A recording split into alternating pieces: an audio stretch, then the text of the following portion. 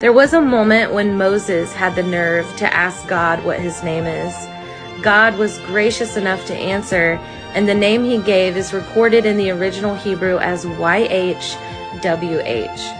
Over time, we have added an A and an E in there to get Yahweh.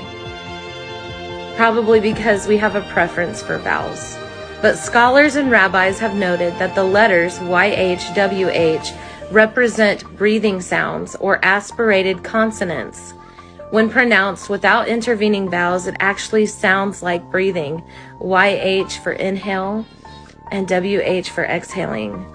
So a baby's first cry, his first breath speaks the name of God.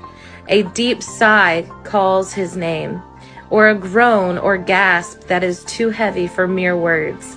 Even an atheist would speak his name, unaware that their very breath is giving that constant acknowledgement to God.